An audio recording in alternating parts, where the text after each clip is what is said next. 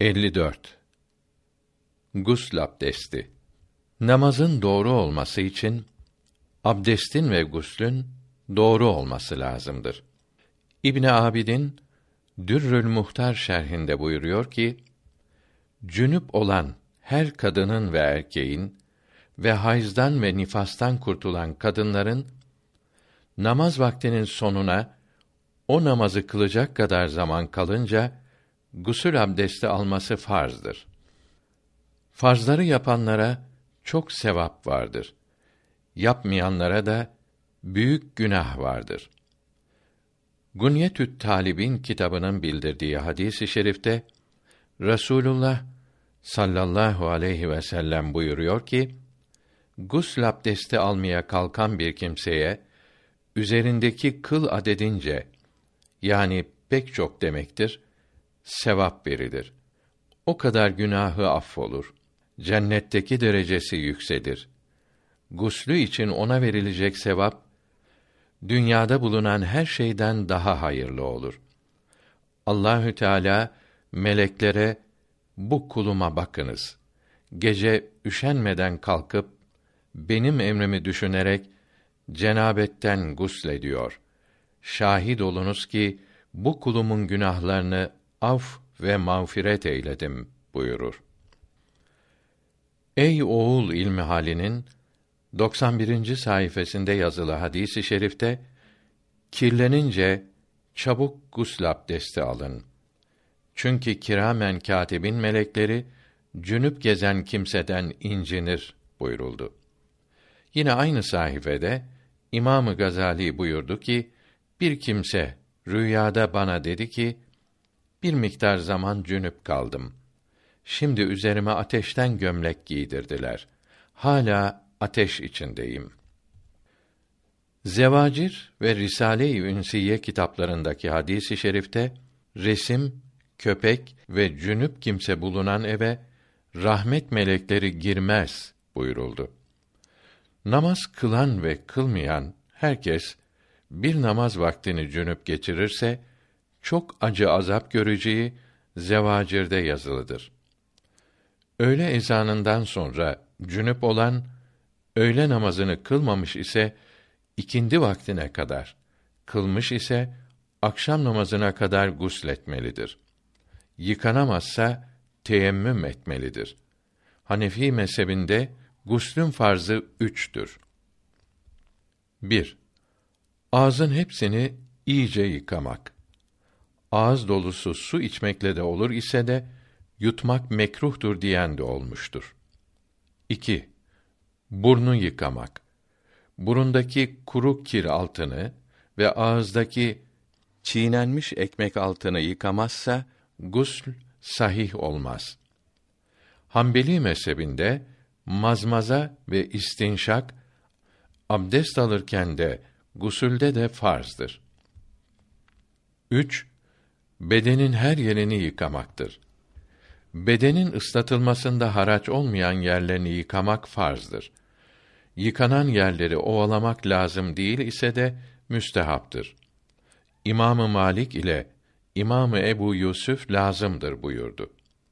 Göbek içini, bıyık, kaş ve sakalı ve altlarındaki derileri ve baştaki saçları ve ferci yıkamak farzdır. Gözleri, kapalı küpe deliğini, sünnet derisi altını yıkamak farz değildir. Müstehaptır. Kadınlar örülü saçın diplerini ıslatınca örgüyü yıkamak lazım değildir. Saç dipleri ıslanmazsa örgüyü açmak lazım olur. Örülmemiş saçların her tarafını da yıkamak farzdır. Tıraş olursa kesilen saçları ve diğer kılları ve tırnakları yıkamak lazım değildir. İbn Abidin rahmetullahi aleyh 5. cilt 275. sayfede diyor ki cünüp iken kasıkları tıraş etmek mekruhtur. Cünüp iken saç, tırnak kesmenin de mekruh olduğu buradan anlaşılmaktadır. Pire sinek kirlerinin ve kınanın ve insan kirinin, akıcı yağların, çamurun altını yıkamak farz değildir. Deriye yapışmış hamur, mum, sakız, katı yağ, balık bulu, çiğnenmiş ekmek, tırnaktaki oje denilen boya gibi su geçirmeyen şeylerin altını yıkamak lazımdır. Dişlerin arasında ve diş çukurunda bulunan yemek artıklarının altına su geçmezse, altı yıkanmazsa, gusl abdesti caiz olmaz. Yüzük sıkı ise, çıkarmak veya hareket ettirmek lazımdır. Küpe de böyledir. Küpe deliğinde, küpe yoksa ve delik açıksa, kulağı ıslatırken, delik ıslanırsa yetişir. Islanmazsa, deliği parmakla ıslatmalıdır. Bütün bunlarda ıslandığını çok zannetmek yetişir. Ağzını veya başka yerini yıkamayı unutup namaz kılsa, sonra hatırlasa, orasını yıkayıp farzı tekrar kılar. Tenha yer yoksa, başkasının yanında avret yerini açmaz. Tenha oluncaya kadar bekler. Namaz vakti daralır ise, başkaları yanında taharetlenmez. Donunu da yıkamaz. Necaset ile namaz kılar. Çünkü haramdan kaçmak, farzı yapmaktan daha çok sevaptır. Sonra tenha yer bulunca taharetlenir, donunu yıkar ve namazı iade eder. Abdestin ve guslün vacipleri yoktur. Guslün sünnetleri abdestin sünnetleri gibidir. Yalnız gusülde abdestteki sırayla yıkamak sünnet değildir. Müstehapları da aynı olup yalnız gusülde kıbleye dönülmez ve dua okunmaz. Yalnız besmele çekilir ve kelime-i şehadet söylenir. Havuzda, nehirde, denizde, yağmur altında ıslanan ağzını ve burnunu da yıkasa abdest ve gusl almış olur. Sünnet üzere gusl abdesti almak için önce temiz olsalar dahi iki eli ve avret yerini yıkamalıdır. Sonra bedeninde necaset varsa yıkamalı, sonra tam bir abdest almalı, yüzünü yıkarken gusle niyet etmeli, ayakları altında su toplanmıyorsa ayakları da yıkamalıdır. Sonra bütün bedene üç defa su dökmelidir. Önce üç defa başa, sonra sağ omuza, sonra sol omuza dökmeli. Her döküşte o taraf tamam ıslanmalıdır. Birinci dökmede olmalıdır. Gusülde bir uzva dökülen suyu başka uzuvlara akıtmak caiz olup orası da temizlenir. Çünkü gusülde bütün beden bir uzuv sayılır. Abdest alırken bir uzva dökülen su ile başka uzuv ıslanırsa yıkanmış sayılmaz. Gusül tamam olunca tekrar abdest almak mekruhtur. Guslederken abdesti bozulursa bir daha almak lazım olur. Şafii'yi ve Maliki'yi taklid edenler buna dikkat etmelidir. Abdest bozulmadan başka yerde almak veya namaz kılıp sonra almak caizdir. Abdeste ve gusülde lüzumundan fazla su kullanmak israf olup haramdır. Sekiz rıtıl yani bin kırk dirhem-i şer'i veya üç buçuk kilo su ile sünnete uygun gusledilebilir. Rasulullah sallallahu aleyhi ve sellem bir müt yani iki rıtıl yani 875 gram su ile abdest alır, bir sağ hacminde su ile guslederdi. Bir sağ 4200 gram sudur. Çünkü bu fakir mercimekle yaptığım tecrübelere göre bir sağ 4,2 litredir. Yani 4 litre ve 1 litrenin beşte biridir. Hanefi mezhebinde dişlerin arası ve diş çukuru ıslanmazsa gusül tamam olmaz. Bunun için diş kaplatınca ve doldurunca gusl abdesti sahih olmaz. İnsan cenabetlikten kurtulmaz. Evet, İmamı Muhammed'e göre sallanan dişleri altın tel ile bağlamak ve düşen, çıkarılan diş yerine altın diş takmak caizdir. İmam-ı Azam ise altın caiz olmadığını içtihat buyurmuştur. İmamı Ebu Yusuf bir rivayette İmamı Muhammed gibi buyurmuştur. Eshab-ı kiramdan Arfece bin Sa'da altın burun takması için izin verilmesi İmam-ı Azam'a göre yalnız Arfece'ye mahsustur denilmiştir. Nitekim Zübeyir ve Abdurrahman radıyallahu teala anhuma için ipek giymelerine izin verilmişti ve yalnız bunlara mahsustu denilmiştir. Fakat fetva İmamı Muhammed kavliyle olup gusl abdesti alırken çıkarılabilen takma diş, kulak ve burunun altından olmaları caiz görülmüştür. İmamlarımızın bu ayrılığı takma dişin ve sallanan dişe sarılan tellerin altından olup olmamasındadır ve gusle mani olmayacak şekilde çıkarılması mümkün olduğu haldedir. Yoksa gusl bahsinde Hanefi mezhebinin bütün imamları dişlerin ıslanması lazım olduğunu söylemektedir. Yani altın, gümüş ve nets olmayan başka maddelerden yapılan kaplama ve dolguların altlarına su geçmeyince Hanefi mezhebi alimlerinin hepsine göre gusl abdesti caiz olmaz. Halebi Kebir'de diyor ki, dişler arasında yemek artığı kalıp altı yıkanamazsa gusül caiz olur. Çünkü su akıcı olup bu artıkların altına sızar. Fakat bu artıklar çiğnenerek katılaşmış ise gusl abdesti caiz olmaz.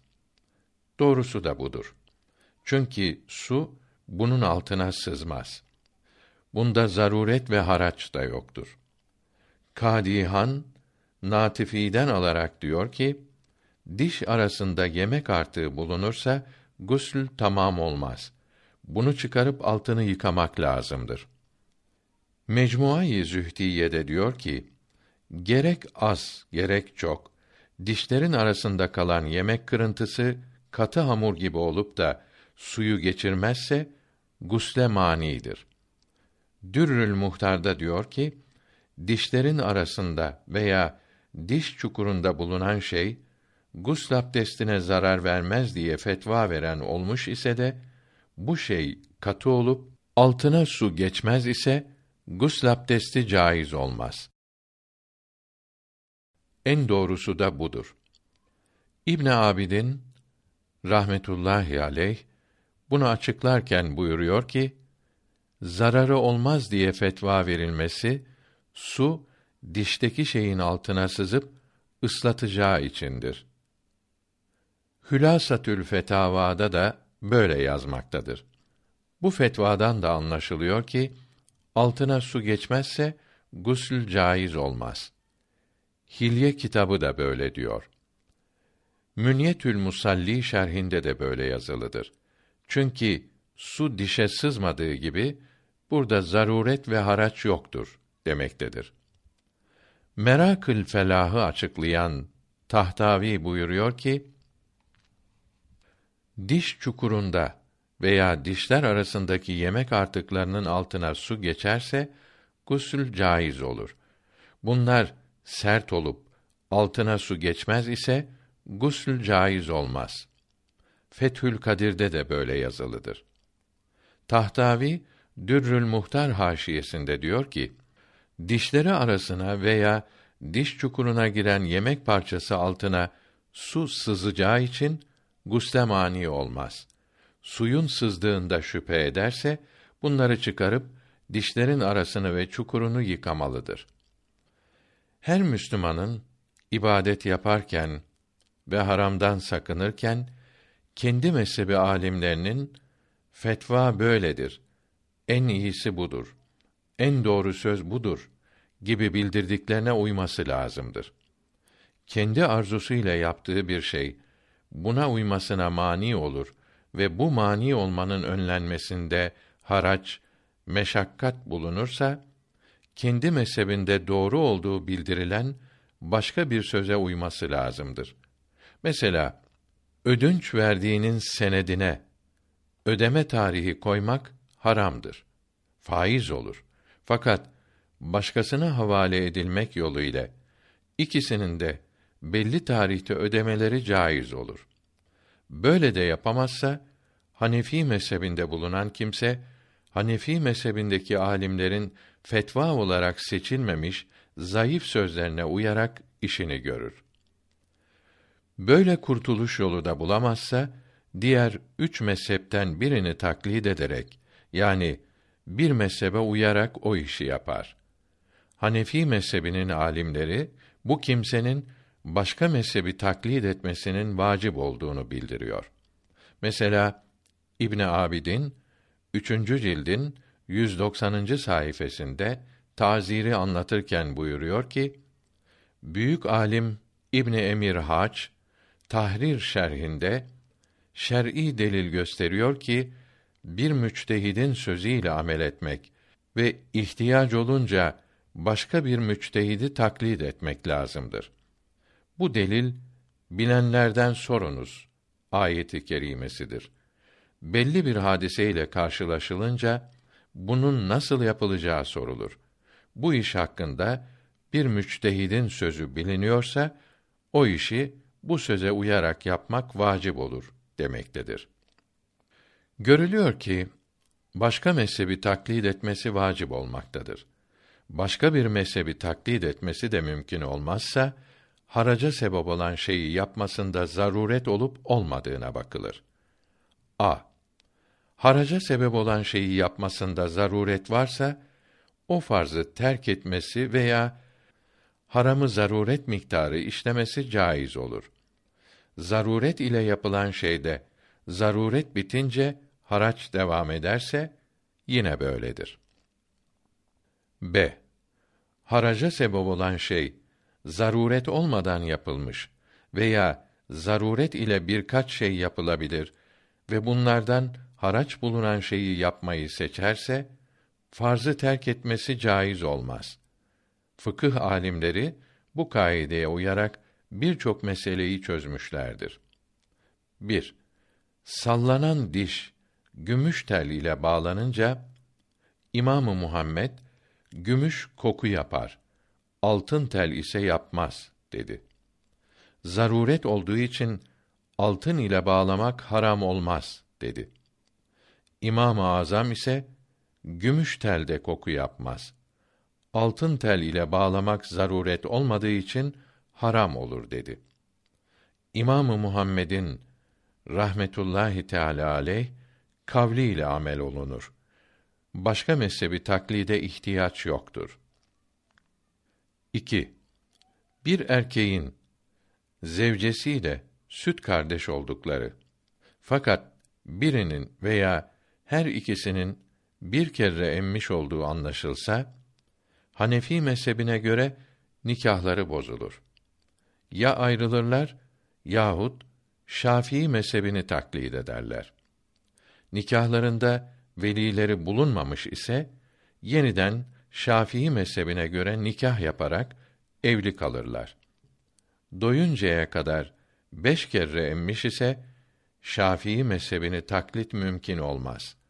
Ayrılmaları lazım olur. 3. Akşam namazı için otobüsü durduramayan inip yerde vaktinde kılar. Sonra gelen başka otobüse biner. Yahut vaktinden sonra Şafii'yi taklit ederek yatsıyla birlikte kılması caiz olur. İkindi namazı için otobüsü durduramayanın inip yerde kılması şarttır. Çünkü Şafii'de de ikindi akşam ile birlikte kılınmaz. 4. Fakir olup nafaka temin edemeyen kimseyi zevcesi mahkemeye verip boşanmak isterse Hanefi olan hakim boşayamaz. Şafii mezhebinde olan hakim boşar. Hanefi olan zevce Şafii olan hakime müracaat eder. Bu hakim boşar. Bu hakimin hükmü nafiz olur. İnsanı bir şey yapmaya zorlayan semavi sebebe yani insanın elinde olmayarak hasıl olan sebebe zaruret denir. İslamiyetin emr ve yasak etmesi ve tedavi edilemeyen şiddetli ağrı ve bir uzvun yahut hayatın telef olmak tehlikesi ve başka bir şey yapamamak mecburiyeti hep zarurettir. Bir farzın yapılmasına mani veya haram işlemeye sebep olanı önlemenin meşakkatli, güç olmasına haraç denir. Herhangi bir sebep ile diş kaplatan veya diş doldurtan kimsenin Hanefi mezhebi alimlerinin rahmetullahi aleyhim ecmaîn söz birliği ile gusl abdestinin sahih olmayacağı yukarıda bildirilmişti. Bunun gusl abdestinin sahih olmasını sağlamak için uyulacak Hanefi mezhebi alimlerinin başka sözleri de yoktur. Bazı kimseler bunun diş kaplatmadan veya doldurtmadan evvel gusl abdesti alması ve her zaman bunlar üzerine mesh etmesi caiz olur diyor ise de bu söz doğru değildir. Çünkü mest üzerine mesh ayaklara mahsustur ve gusülde değil abdest almaktadır. Kaplama ve dolgunun yara üzerindeki sargıya benzemediği de birkaç sayfa ileride bildirilecektir. İbadet yapmakta veya haramdan sakınmakta haraç olunca haraç bulunmayan başka mezhebi taklit etmek lazım olduğu birçok kitaplarda mesela İbn Abidin'de 51. ve 256. ve ikinci cilt 542. ve üçüncü cilt 190. sayfelerde ve Mizan'ın 18. sayfasında ve Hadika ve Berika kitaplarının sonunda ve Fetavai Hadisiye'de ve Fetavai Hayriye'nin Edebül Kadi kısmı sonunda ve İmam-ı Rabbani mektubatı 3. cildinin 22. mektubunda yazılıdır. Bu mektup birinci kısım 35. maddededir. Şafii alimlerinden Molla Halil Siridi'nin rahmetullahi teala aleyh Mafüvat kitabında ve şerhinde de yazılıdır. Taklide niyet eden kimsenin niyet etmeden önce kılmış olduğu o vaktin namazı sahih olur. Daha önceki vakitlerinkini kaza etmesi lazım gelir. Tahtavi Merakül Felah haşiyesi 96. sayfasında ve ayrıca bunun tercümesi olan Nimet-i İslam'da şöyle yazıyor. Bir Hanefi'nin kendi mezhebine göre yapamadığı bir işi yapabilmesi için Şafii mezhebini taklit etmesinde bir beis yoktur. Bahrül Raik ve Nehrül Faik'ta da böyle yazılıdır. Fakat bu işi yaparken Şafii mezhebinin şartlarını da yerine getirmesi lazımdır. Haraç olmadan ve şartlarını yapmadan taklit ederse buna müleffik denir ki kolayları arayıp toplayıcıdır. Bu caiz değildir. Hanefi yolcunun Şafii mezhebini taklit ederek öğle ile ikindi namazlarını ve akşam ile yatsı namazlarını birlikte kılabilmesi için bunları kılarken imam arkasında Fatiha okuması kendi seveteynine yani iki çirkin yerine eli ayası ve nikah ile alması ebedi haram olan 18 kadından başka kadının derisine derisi değerse abdest alması, abdeste niyet etmiş olması ve az necasetten de sakınması lazımdır. Malikiyi de taklit edebilir. Maliki veya Şafii mezhebini taklit etmek için gusülde, abdest almakta ve namazda niyet ederken bu mezhebe de tabi olduğunu hatırlamak yetişir. Yani gusl abdesti almaya başlarken niyet ettim gusl abdesti almaya ve Maliki veya Şafii mezhebine uymaya sözünü kalbinden geçiren bir kimsenin gusl abdesti sahih olur. Ağzında kaplama veya dolgu bulunan Hanefi mezhebindeki bir kimse böyle niyet edince boy abdesti sahih olur. Cünüplükten kurtulur, temiz olur. Böyle kimsenin namaz kılacağı ve Kur'an-ı Kerim'i tutacağı zaman Maliki veya Şafii mezhebine göre de abdest alması lazımdır. Şafii mezhebini taklit edince çok ihtiyar veya bali olmamış gösterişli çocuk da olsa nikahlanmaları caiz olan erkekle kadının derileri birbirlerine dokununca ikisi de ve kendinin veya başkasının iki abdest bozma uzuvlarına el ayasıyla dokununca namaz abdesti almalıdır. Cemaat ile namaz kılarken de her rekatte Fatiha okumalıdır. Necasetten çok sakınmalıdır. Cemaate geç gelince imamla birlikte rükûa eğilir. Fatiha'nın bir kısmını veya hepsini okumaz. Malikiyi veya Şafii mezhebini taklit etmesi takva değildir, fetvadır, ruhsattır. Takva kaplama ve dolguları takma dişle değiştirmeye denir. Kaplama ve dolgusu olan Hanefiler dört mezhep için söylenmiş olan ümmetimin müçtehitleri arasındaki ayrılık rahmeti ilahiyedir. Hadisi şerifindeki rahmete kavuşarak Maliki veya Şafii mezhebine uymakla cenabetlikten kurtuluyor. Çünkü Şafii ve Maliki mezheplerinde gusl abdesti alırken ağzı, burnu yıkamak farz değildir. Niyet etmek farzdır. Başka mezhebi taklit ederken o işin o mezhepte sahih olmasına mani olan fakat kendi mezhebinde veya diğer bir üçüncü mezhepte mani olmayan ikinci bir haraç hasıl olursa bu işi her üç mezhebe göre yapmaya devam eder.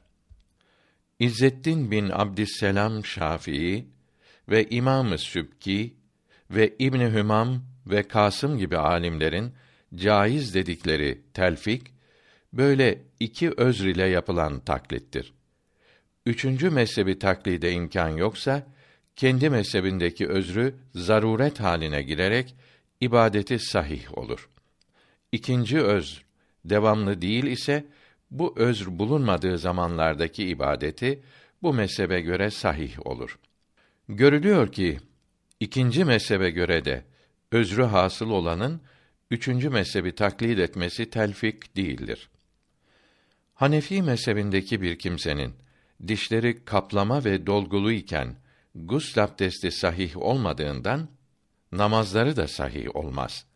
Şafii veya Maliki mezhebini taklide başlayıncaya kadar kılmış olduğu namazları kaza etmelidir. Namazların sünnetleri yerine kaza nasıl kılınacağı 74. maddede bildirilmiştir. Bazıları dişlerin yıkanması için ayet ve hadis var mı diyor. Şunu iyi bilmeli ki edille-i şer'iyye dörttür. Yalnız ikisini söylemek mezhepsizlik olur. Ayet-i kerimeden ve hadisi şeriften mana çıkaracak alim bugün yok gibidir. Bizler ayetlerin ve hadislerin manalarını iyi anlamış ve fıkıh kitaplarında bildirmiş olan büyük alimlerden birini kendimize imam, rehber edindik. Onun gösterdiği gibi ibadet ediyoruz. Bizim rehberimiz İmam-ı Azam Ebu Hanife'dir. Dört mezhepten birini taklit eden kimse Kur'an-ı Kerim'e ve hadis-i şeriflere uymuş olur. On bir türlü gusül abdesti vardır. Beşi farzdır. Bunlardan ikisi kadının hayız ve nifastan kurtulunca gusül abdesti almasıdır. Hayız akmak demektir. Sekiz yaşını bitirip dokuz yaşına bastıktan birkaç gün veya ay yahut seneler sonra sıhhatli bir kızın veya adet zamanı son dakikasından itibaren tam temizlik geçmiş olan kadının önünden çıkan ve en az üç gün yani ilk görülmesinden itibaren 72 mutedil yani vasati saat devam eden kana denir. Buna sahih kanda denir. Adet zamanından sonra başlayan 15 veya daha ziyade gün içinde hiç kan görülmezse ve öncesi ve sonrası hayız günleri olursa bu temiz günlere sahih temizlik denir. 15 veya daha ziyade temiz gün içinde fasit kan yani istihaza kanı bulunursa bu günlerin hepsine hükmî temizlik veya fasit temizlik denir. Hayız müddeti içinde kan görülmeyen günlere de fasit temizlik denir. Sahih temizliğe ve hükmî temizliğe tam temizlik denir. Tam temizlikten önce ve sonra görülüp üç vasati gün devam eden kanlar iki ayrı hayız olurlar. Beyazdan başka her renge ve bulanık olana hayız kanı denir. Bir kız hayız görmeye başlayınca baliga olur. Yani kadın olur. Hayız görmeyen kızın ve menisi olmayan oğlanın 15 yaş tamam olunca bali sayılacağı Dürri Yekta şerhinde yazılıdır. Hayız kanı görüldüğü andan kesildiği güne kadar olan günlerin sayısına adet zamanı denir. Adet zamanı en çok on gündür. En az üç gündür. Şafii ve Hanbeli mezheplerinde en çoğu on beş, en azı bir gün, Maliki'de en çoğu on beş gün ise de ilk görülen kan hayız olur. Maliki ve Şafii mezhebini taklit eden Hanefi mezhebindeki bir kadının adeti on günü aşarsa bu günlerde kılmadığı namazlarını temizlendikten sonra kaza eder. Hayız kanının durmadan hep akması lazım değildir. İlk görülen kan kesilip üç gün sonra tekrar görülürse aradaki temizlik fasit temizlik olup söz birliğiyle hep aktı kabul edilir. Onuncu gününden önce görülürse İmamı Muhammed'in İmam-ı Azam Ebu Hanife'den rivayet ettiğine göre on gün içinde hep aktı kabul edilir. İmamı Muhammed'in bildirdiği başka bir rivayette vardır. İmamı Ebu Yusuf'e ve Şafiiye ve Malikiye göre ise 15. günden önce görülünce bütün temizlik günlerinde hep aktı kabul edilir. Bir kız bir gün kan, sonra 14 gün temizlik, sonra bir gün kan görse ve bir kadın bir gün kan, on gün temizlik ve bir gün kan görse veya üç gün kan, beş gün temizlik ve bir gün kan görse, İmamı Ebu Yusuf'e göre kızın ilk on günü hayz olur. Birinci kadının adet günü kadarı hayz olup, sonraki günlerin hepsi istihaza olur. İkinci kadında dokuz günün hepsi hayz olur. İmamı Muhammed'in birinci rivayetine göre yalnız ikinci kadının dokuz günü hayz olur. İmamı Muhammed'in ikinci rivayetine göre yalnız ikinci kadının ilk üç günü hayz olup diğerleri hayz olmazlar. Biz aşağıdaki bilgilerin hepsini Mülteka kitabından tercüme ederek İmamı Muhammed'in birinci rivayetine göre yazdık. Bir gün tam 24 mutedil yani vasati saat demektir.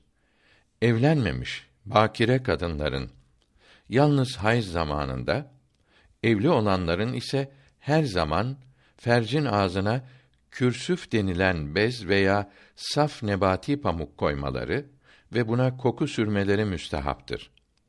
Sun'i pamuk sıhhate zararlıdır. Kürsüfün hepsini fercin içine sokmaları mekruhtur. Kürsüf üzerinde aylarca her gün kan lekesi gören kız ilk on gün hayızlı, sonra yirmi gün istihazalı kabul edilir. İstimrar denilen bu kan kesilinceye kadar hep böyle devam eder. Bir kız üç gün kan görüp bir gün görmese, sonra bir gün görse, iki gün görmese, bir gün daha görüp bir gün görmese, yine bir gün görse, bu on günün hepsi hayız olur.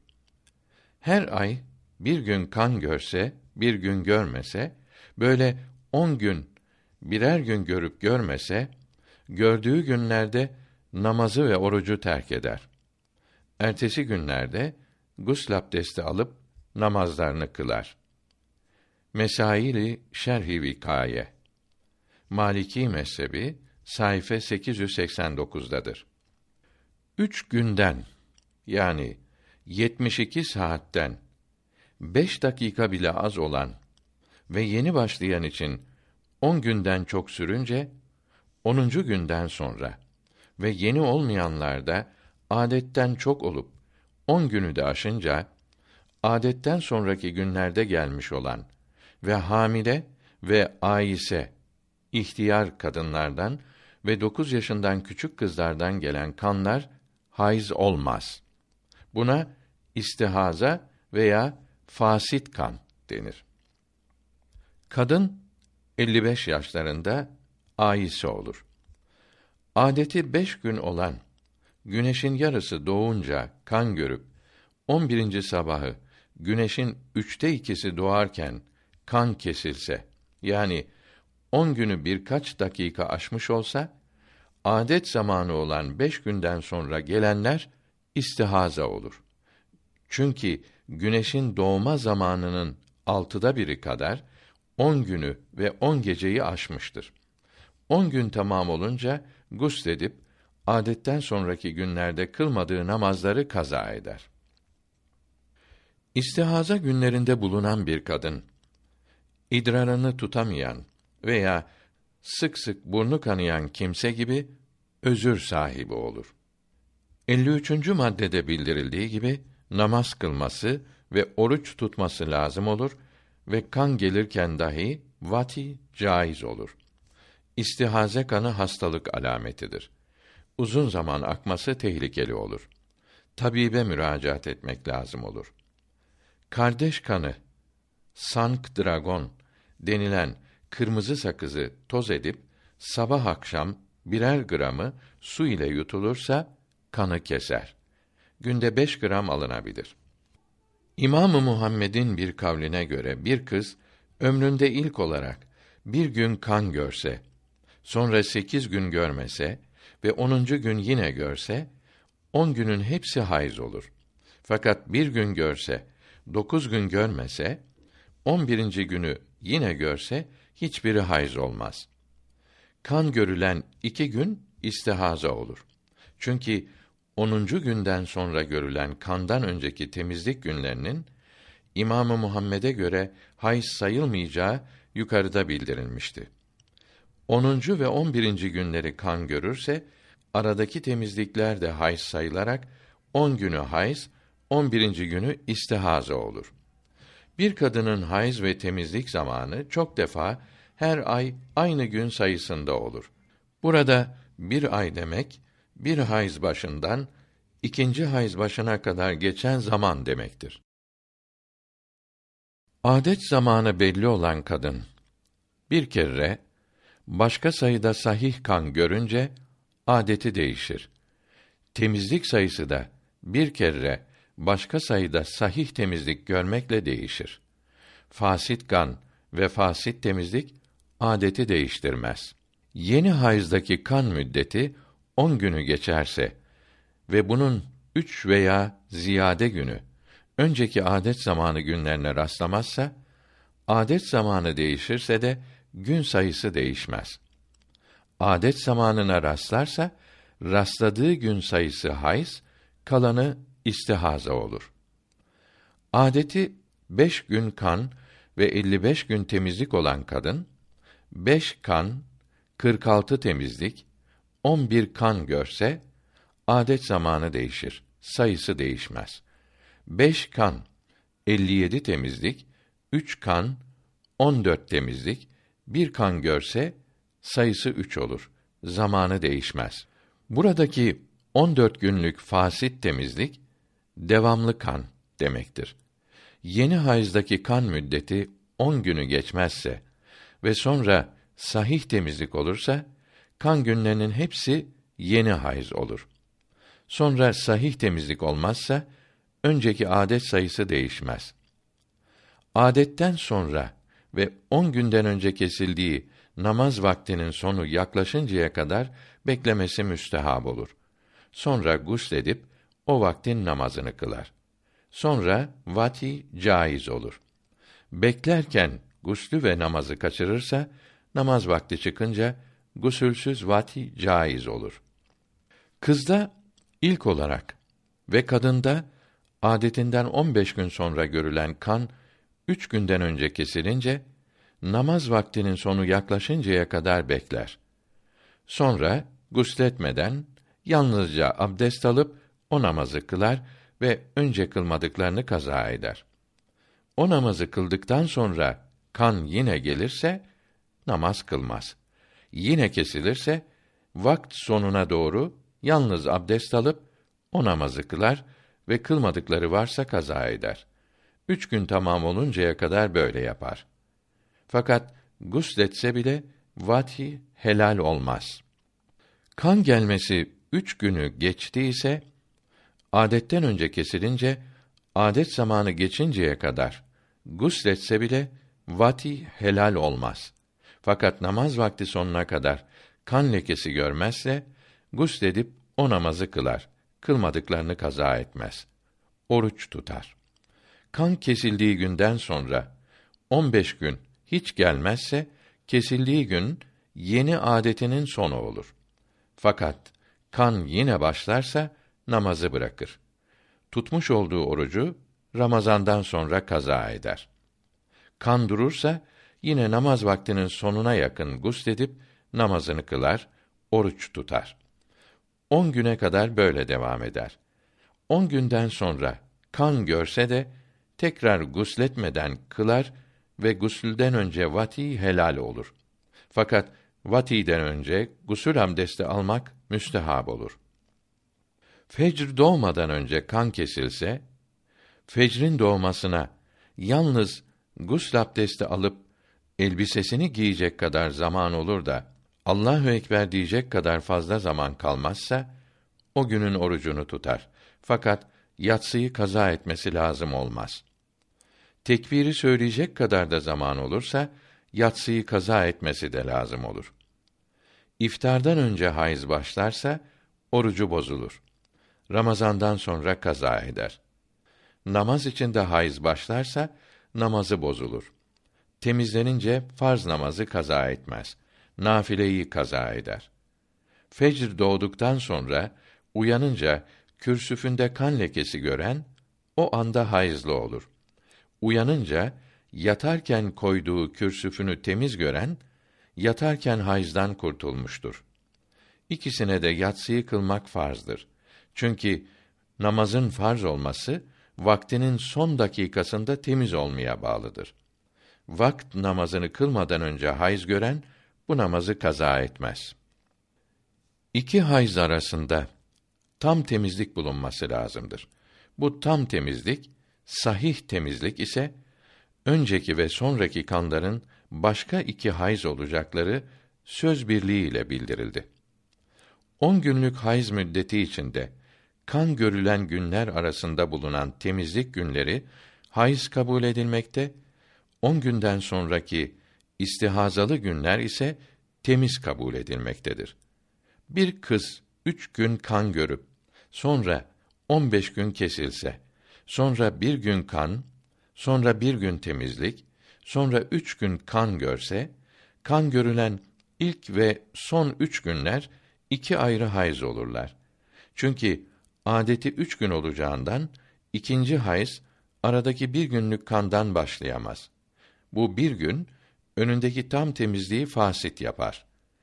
Molla Hüsrev rahmetullahi teala aleyh Gureri'nin şerhinde diyor ki bir kız bir gün kan, on dört gün temizlik, bir gün kan, sekiz gün temizlik, bir gün kan, yedi gün temizlik, iki gün kan, üç gün temizlik, bir gün kan, üç gün temizlik, bir gün kan, iki gün temizlik, bir gün kan görse, İmamı Muhammed'e göre bu 45 günden yalnız 14 günden sonra olan 10 gün hayz olup diğerleri istihaze olur.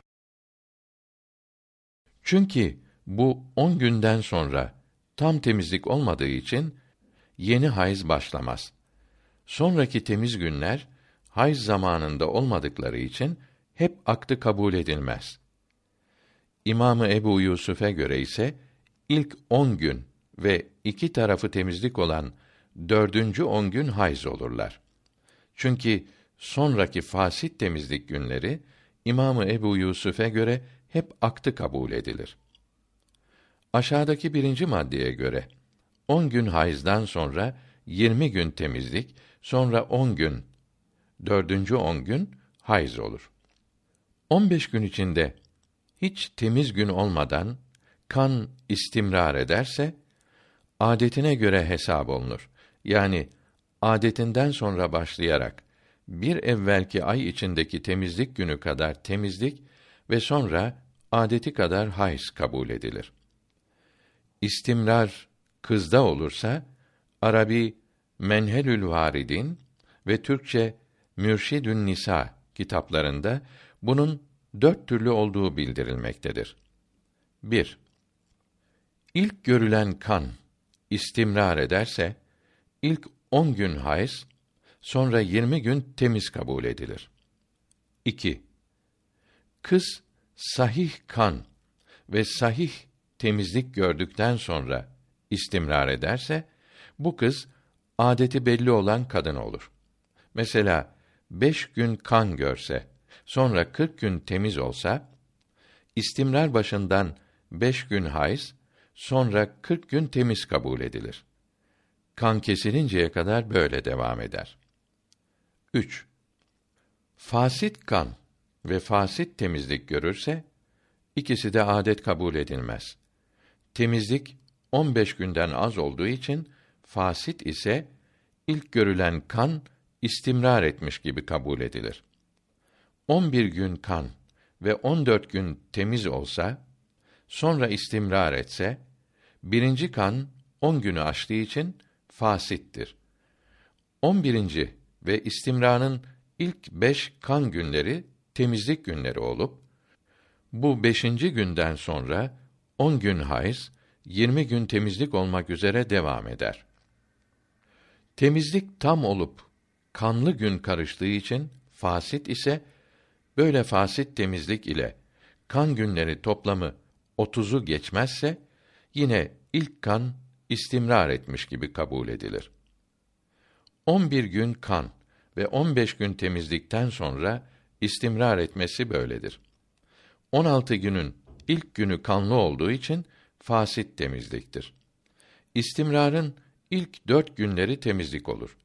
Toplamları otuzu aşar ise ilk on gün hayız olup sonra istimrara kadar olan günlerin hepsi temiz kabul edilip istimrardan sonra on gün hayız, yirmi gün temiz olarak devam eder. On bir gün kan, sonra yirmi gün temizlik, sonra devam etmek böyledir. 4. Sahih kan ve fasit temizlik görürse, sahih kan günleri adet olur. Sonra otuz güne kadar temizlik kabul edilir. Mesela, beş gün kan ve on dört gün temizlikten sonra istimrar etse, ilk beş gün kan ve bundan sonra yirmi beş gün temiz olur. Bu yirmi beş günü tamamlamak için istimrarın ilk on bir günü temiz kabul edilir. Bundan sonra beş günü hayz, yirmi beş günü temiz olarak devam edilir. Bunun gibi üç gün kan, on beş gün temizlik, bir gün kan ve sonra on beş gün temizlikten sonra istimrar etse, ilk üç gün sahih kan ve sonra istimrara kadar olan günlerin hepsi fasit temizlik olup, üç gün hayız, sonra otuz bir gün temiz olur. İstimrar zamanında ise, üç gün hayız, sonra yirmi yedi gün temiz olarak devam eder. İkinci temizlik, on dört gün olsaydı, İmamı Ebu Yusuf'e göre hep aktı kabul edileceğinden, bunun ilk iki günü de hayız, Sonra on beş gün temizlik olmak üzere devam edilir. Çünkü ilk üç gün kan ve on beş gün temizlik sahih olduklarından adet kabul olunurlar. Adet zamanını unutan kadına muhayyire veya dalle denir. Nifas lohusa demektir. Elleri, ayakları, başı belli olan düşükte gelen kan da nifastır. Nifas zamanının azı yoktur. Kan kesildiği zaman gusledip namaza başlar. Fakat adeti kadar gün geçmeden cima edemez. En çok zamanı kırk gündür. Kırk gün tamam olunca kan kesilmese de gusledip namaza başlar. Kırk günden sonra gelen kan istihaze olur. Birinci çocuğunda 25 günde temizlenen kadının adeti 25 gün olur. Bu kadının ikinci çocuğunda kan 45 gün gelse nifası 25 gün sayılıp 20 günü istihaze olur. 20 günlük namazlarını kaza eder. O halde nifas gününü de ezberlemek lazımdır. İkinci çocukta kan 40 günden önce mesela 35 günde kesilirse bunun hepsi nifas olur ve adeti 25 günden 35 güne değişmiş olur. Ramazanda sahurdan yani fecrden sonra hayızdan veya nifastan kesilen o gün yemez içmez. Fakat o günü kaza eder. Hayız ve nifas sahurdan sonra başlarsa, ikindiden sonra da olsa o gün yiyip içer. Hayız ve nifas günlerinde namaz, oruç, cami içine girmek, Kur'an-ı Kerim'i okumak ve tutmak, tavaf, cima, dört mezhepte de haramdır. Oruçları kaza eder, namazları kaza etmez. Namazları affolur. Her namaz vaktinde abdest alıp, o namazı kılacak kadar zaman oturup, zikir, tesbih ederse, en iyi namazın sevabını kazanır. Sekiz yaşını tamamlayan kıza, anasının, anası yoksa, ninelerinin, ablalarının, hala ve teyzelerinin hayız ve nifas ilmini bildirmeleri farzdır. Bildirmezlerse kendileri ve zevçleri büyük günaha girerler. Cevhere kitabında buyuruyor ki, kadının hayız başladığını kocasına bildirmesi lazımdır. Kocası sorunca bildirmezse büyük günah olur. Temiz iken hayız başladı demesi de büyük günahtır. Peygamberimiz sallallahu aleyhi ve sellem hayzın başladığını ve bittiğini kocasından saklayan kadın mel'undur buyurdu. Hayz halinde de temiz iken de kadına dübüründen yaklaşmak haramdır. Büyük günahtır. Böyle yapan mel'undur. Puştluk yani cinsi sapıklık denilen oğlan kirletmek daha büyük günahtır. Buna livata denir. Enbiya suresinde livataya habis iştir buyuruyor. Kadizade'nin bir gibi şerhinde Peygamberimiz Lut kavmi gibi livata yapanları suçüstü yakalarsanız ikisini de öldürünüz buyurdu. Bazı alimler ikisini de yakmalıdır dedi. Livata yapanlar arasında sürat ile yayılan AIDS denilen korkunç hastalığın domuz eti yiyenlerde daha vahim olduğu Amerika'da tespit edilmiştir. 1985'te virüsü teşhis olunan bu hastalığın ilacı bulunamamıştır. Farz olan guslün üçüncüsü, cünüp olduktan sonra namaz kılması lazım olduğu zaman yıkanmaktır. Cünüp olmak üç türlüdür. Haşefe yani zekerin ucu sünnet derisi altındaki yuvarlak kısım ferce dahil olunca veya erkekte koyu beyaz ve kadında akıcı sarı meni yerinden şehvetle kopup çıkınca veya ihtilam ile yani rüyada şehvetlenip uyandığı zaman meni veya mezi akmış olduğunu görünce erkek ve kadın cünüp olur. Hanefi'de ve Şafii'de vedi ve mezi çıkınca cünüp olmaz. Fakat çıkmış olan meni sıcaktan incelerek mezi gibi görünür. Cuma, Fıtır Bayramı ve Kurban Bayramı namazları için ve Arefe günü Arafat meydanında gusül abdesti almak sünnet-i zevaittir. Cünüp olduğunu unutan cuma namazı için guslederse temiz olur. Fakat farz sevabına kavuşamaz. Meyyiti gasletmek vacib-i kifayedir. Cenaze yıkanmadan namazı kılınmaz. Kafir Müslüman olunca gusül abdesti alması müstehaptır. Bu on birden başka hac ve ömre için ihrama girerken, Mekke'ye, Medine'ye girerken, Müzdelife'de vakfeye dururken, cenaze yıkayacağı zaman, hacamat olduktan sonra, Kadr, Arefe, Berat gecesi ve deli iyi olunca, çocuk 15 yaşına girince gusletmek müstehaptır. Hayız bitince cima ederse ikisi için bir gusül yetişir. Cuma ve bayramda başka sebeple gusledince bu namazların gusül sevabı hasıl olur. Dayak yemek, ağır bir şey kaldırmak veya bir yerden düşmek gibi sebeplerle meni çıkınca Hanefi'de ve Maliki'de gusül lazım olmaz. Şafii mezhebinde ise lazım olur. Şafii mezhebini taklit eden Hanefi'nin buna da dikkat etmesi lazımdır. Şehvet ile yerinden ayrılan meni idrar yolunda kalıp dışarı çıkmazsa gusül lazım olmaz. Sonra buradan şehvetsiz de çıkınca gusül lazım olur. İhtilam olan yani rüyada şehvetlenen kimse uyanıp eliyle zekerini sıkıp meni akmasa şehveti geçtikten sonra akınca gusül lazım olur. Cünüp olup bevl yapmadan gusleden kimseden sonra meninin geri kalan kısmı şehvetsiz aksa tekrar gusül lazım olur. Namaz kılmışsa kaza etmez. Bunun için Hanefi'de ve Hanbeli'de gusülden önce idrar çıkararak idrar yolunda kalmış olan meni parçasını çıkarmak, sonra gusletmek lazımdır. Şafii'de bevletmiş ise de tekrar gusül abdesti alması lazımdır. Maliki'de bevletmemiş ise de tekrar gusül abdesti lazım olmaz. Haşefe, ferce veya kadının veya erkeğin dübürüne girince meni aksa da akmasa da her ikisine gusletmek farz olur. Sodomiyede yani hayvana ithal edince ve nekrofilide yani ölüye ithal edince akmazsa Hanefi'de gusül lazım olmaz. İdhal edilen hayvan kesilip yakılır. Etini yemek de caizdir.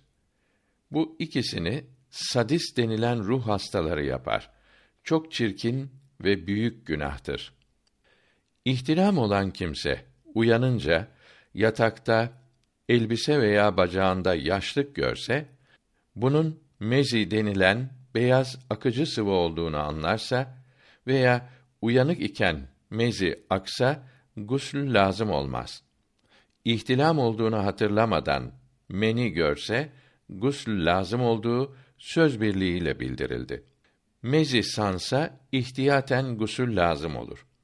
İhtilam olduğunu hatırlayan kimse bir yerde meni görmezse gusletmez.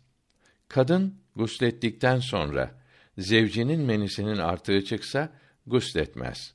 Sarhoş ayıldığı zaman üstünde meni görse gusül lazım olur. Bayılan da böyledir. Kadın erkek uyanıp yatakta meni görseler, ikisi de ihtilam hatırlamasa, ikisi de gusleder. Cin, insan şeklinde cima yaparsa, insana gusül lazım olur. İnsan şeklinde gelmezse, bundan lezzet alan gusletmez. Ferçten başka yerine sürtmekle çıkan erkek menisi, rahme girse, kadın gusletmez. Bu suretle hamile kalsa gusleder ve o günden beri kıldığı namazları kaza eder. Çocuk zekeri, hayvan zekeri, ölü zekeri, zeker gibi her şey veya parmak ve prezervatif kullanınca ferce sokuldukları zaman lezzet duyarsa gusül lazım olur. Lezzet duymazsa gusletmesi iyi olur. Merakül Felah'ta diyor ki, kadın erkek birbirini görmekle, düşünmekle meni akınca cünüp olur. Kadının gusül ve abdest suları ve hamam parasını zevci verir. İhtiyaç maddelerini kadın zengin olsa da erkeğin alması lazımdır. İdrar yaparken meni de çıkarsa, zekeri münteşir ise gusleder. Kadın cünüp iken hayız görürse, isterse hemen gusleder. İsterse hayız bitinceye kadar bekleyip sonra ikisi için bir gusleder. Dürrül Münteka'da diyor ki, erkeklerin erkek hamamına, kadınların kadın hamamına gitmeleri caizdir. Avret mahallini kalın ve bol havlu ile örtmek farzdır. Başkasının ince ve dar havlu ile örtülü avret mahalline bakmak da haramdır. Hamamcının uylukları keselemesi ve örtülü iken bakması caizdir. Havlu altındaki avret mahalline temas etmesi, bakması haramdır. Erkek erkeğin, kadın kadının avret olmayan yerlerine şehvetsiz bakması ve temas etmesi caizdir. Erkeğin kâfir kadınlarına da şehvetsiz bakması da haramdır. Nas ile veya icma ile bildirilmiş olan harama ehemmiyet vermeyenin imanı gider, mürtet olur. Cünüp kimse kılmadığı namaz vakti çıkıncaya kadar gusletmezse günah olmaz. Daha geciktirmesi büyük günahtır.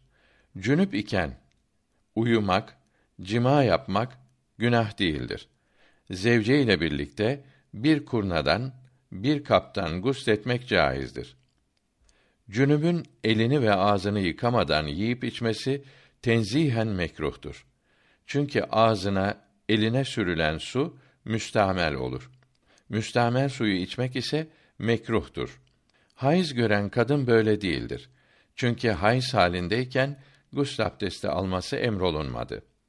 Hayız halindeki kadın göğsünü yıkamadan çocuğunu emzirebilir. Cünüp kadının yıkamadan emzirmesi mekruh olur. Çocuk emziren kadının abdesti bozulmaz. Kendi avret yeri açık iken ve avret yeri açık olanlar yanında Kur'an-ı Kerim okumak mekruhtur.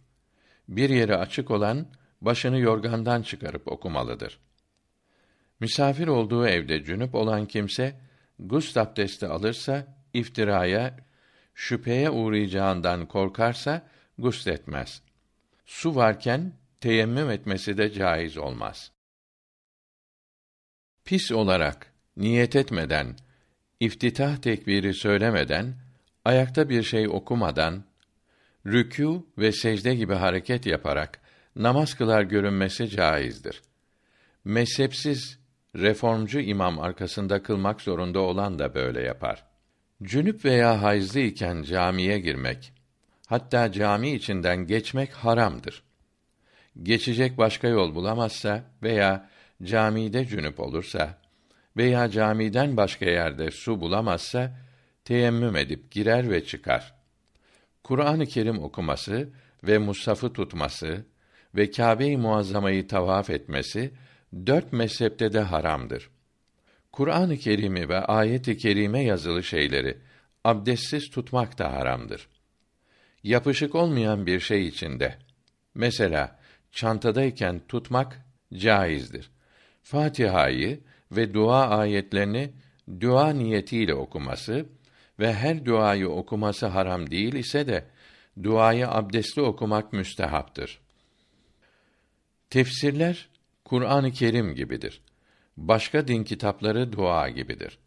Fıkıh yazılı kağıtlara bir şey sarmak caiz değildir. Allahü Teala'nın ve peygamberlerin aleyhisselam isimleri yazılı ise bunları silip sonra bir şey sarılabilir. Fakat bunlara da sarmamak layıktır. Çünkü Kur'an-ı Kerim'in harfleri de muhteremdir. Hadikada ve Letaifül İşaret kitabında mesela Hud aleyhisselama gelen kitap İslam harfleriyleydi buyuruyor. Hadika ikinci cildi 633. sayfasında diyor ki: Üzerinde dokuyarak veya boya ile mübarek yazı bulunan halıyı, hasırı, musallayı yani seccadeyi yere sermek, üzerine oturmak ve her ne suret ile olursa olsun kullanmak ve paralar, mihraplar ve duvarlar üzerlerine yazmak mekruhtur. Bunları duvara asmak mekruh olmaz. Kâbe-i Muazzama resmi de yazı gibidir.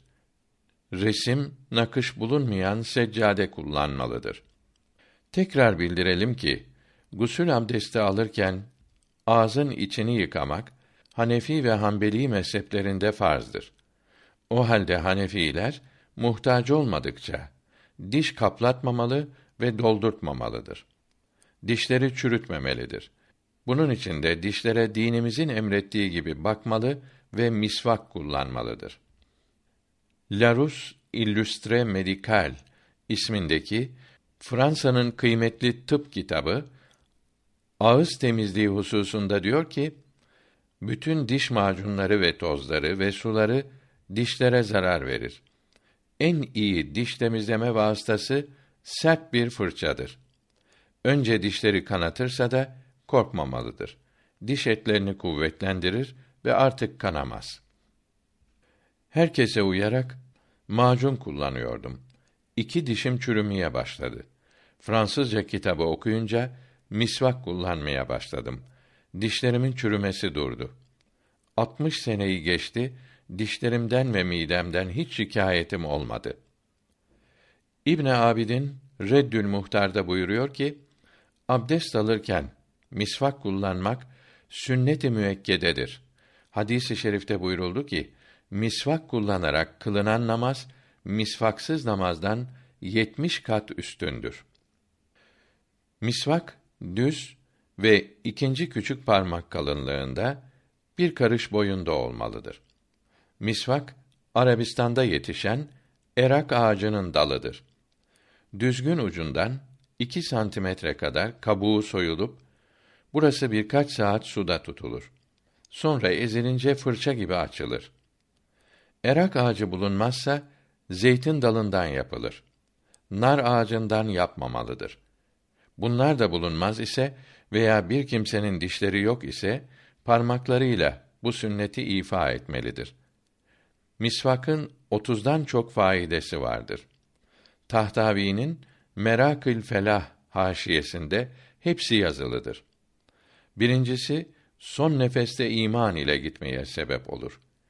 Erkeklerin oruçsuz iken de özürsüz sakız çiğnemeleri mekruhtur. Kadınlar misvak yerine oruçsuz iken sünnete niyet ederek sakız kullanmalıdır. Sual Dinimizde diş yaptırmanın caiz olduğunda bütün fukaha ve müçtehitlerin ittifakı vardır deniliyor. Gümüşten mi yoksa altından mı yaptırılacağı hususundaki ihtilafları bu ittifaka tesir eder mi? Cevap Diş yaptırmak deyince düşen dişin yerine konulan ve istenilince çıkarılabilen takma diş veya sallanan dişi bağlamak anlaşıldığı gibi diş doldurtmak ve kaplatmak da anlaşılır. Hanefi alimlerinin rahmetullahi teala aleyhim ecmaîn sallanan dişleri altın ile de bağlamak caiz olduğuna fetva vermelerini, diş yaptırmanın caiz olduğunda ittifak vardır. Diş doldurtmak ve kaplatmak caizdir şeklinde değiştirmek ya fukahanın beyanatını anlamamak veya bu beyanları kendi sinsi ve adi isteklerine göre değiştirmek olur ki her ikisi de hem ayıp hem de günahtır. Müçtehitlerimiz altın ile veya gümüş ile bağlamakta ihtilaf etmiştir. Hanefi mezhebinin fıkıh kitaplarında sallanan dişi şed etmek, tadbib etmek deniliyor. Şed tel ile kuvvetli bağlamak demektir. Mesela şeddüz zünnar papazların kuşağını bağlamaya denir. Tadbib şerit ile dadbe gibi yani kapı sürgü demiri gibi enli yassı bir şey ile şeddetmek sarmak demek olduğu Tahtavi'nin ve İbn Abidin'in Dürrül Muhtar haşiyelerinde tadvib edilmiş kürsi üzerine oturmayı bildirirken ve Dürrül Münteka ve Camiül Rumuz'da yazılıdır. Bezzaziye ve Hindiye de diyor ki Gümüş ve altın şekiller ile süslenmiş kaptan yemek içmek caizdir. Fakat elini ağzını gümüşe altına değdirmemek lazımdır. İmameyn böyle kapları kullanmak mekruhtur dedi. Tadvib edilmiş kap da böyledir. Kürsiyi, kanepeyi ve hayvan semerini tadbib etmek caiz ise de altın ve gümüş bulunan yerlerine oturmamak lazımdır. Musaf'ın cildini tadbib etmek caizdir. Fakat altına gümüşe dokunmamak lazımdır. Buradan da anlaşılıyor ki tadbib etmek bütün yüzeyi kaplamak demek değildir. Etrafına metal şerit çevirmek demektir. Fıkıh kitaplarında sallanan dişi altın ile tadbib etmek caizdir diyor. Bu söz sallanan dişi düşmekten korumak için altın tel veya şerit ile bağlamak caizdir demektir. Çünkü bu tellerin altına su sızar. Hem de gusül abdesti alırken şimdi takma dişler çıkarıldığı gibi tel ve şerit bağlar da yerlerinden çıkarılmakta, temizlenip gusülden sonra yerlerine konulmaktadır. Çıkarılıp temizlenmezlerse aralarında kalan yemek artıkları ağızda fena koku ve tahribat yaparlar. Sallanan dişi kaplatmak caiz olur dediler. Demek fıkıh alimlerine iftira olur. Çünkü sallanan diş kaplanamaz, bağlanabilir. Görülüyor ki tadbip sözüne kaplatmak diyerek bundan diş kaplatmak caizdir fetvasını uydurmak hakiki bir din adamının yapacağı şey değildir. Fıkıh kitaplarında çürüyen dişleri kaplatmak veya doldurtmak caizdir diye bir yazı bulunmadığı gibi altın ile gümüş ile doldurtmak ve kaplatmak sözü de yoktur. Fıkıh bilgisi az olan ve müçtehitlerin beyanatını anlamayanlar sallanan dişleri bağlamak veya takma diş yaptırmak sözü ile diş kaplatmak ve doldurtmak sözünü birbirine karıştırıyor. Müçtehitlerin beyanlarını hepsine yaymaya çabalıyorlar. Zaruret olduğu için hepsi caizdir diyorlar. Bu zavallılar anlayamıyor ki oynayan dişi bağlamak ve çıkan diş yerine müteharrik diş, protez taktırmak için zaruret aramaya zaten lüzum yoktur. Çünkü yapması caiz olmayan bir şeyi yapabilmek için zaruret aranır. Dişleri bağlamak veya diş takmak yasak edilmemiştir ki bunları yapmak için zaruret aransın. Kendi ağzındaki kaplama ve dolguların gusl abdestine zarar vermediğine Müslümanları inandırmaya kalkışan bazı kimseler gümüş yerine altın ile bağlamak için zaruret bulunduğunu görünce bu zaruret kelimesini büyük bir silah olarak yakalamışlar. Diş yaptırmanın zaruret olduğu ittifakla bildirilmiştir. Yaygarasını koparmışlardır. Böylece Hanefi mezhebindeki Müslümanları şaşırtmış, kâti tarik ilahi olmuşlardır.